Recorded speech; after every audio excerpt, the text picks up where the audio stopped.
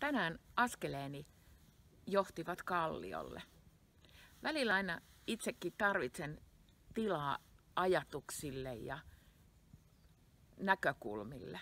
Silloin lähden yleensä kalliolle ja rannalle. Kallio mulle on sellainen, jossa, joka on vahva perusta. Se pysyy, se ei horju missään tilanteissa. Tässä kalliolla seistessäni nousee mieleeni psalmin jae. Jumalani, sinun minä turvaudun. Sinä olet kallio, olet kilpeni. Sinulta minä saan suojan. Ajattelen, että, että turvaudu sinäkin tänään siihen apuun ja voimaan, jonka meidän kalliomme Jumalamme sinulle antaa.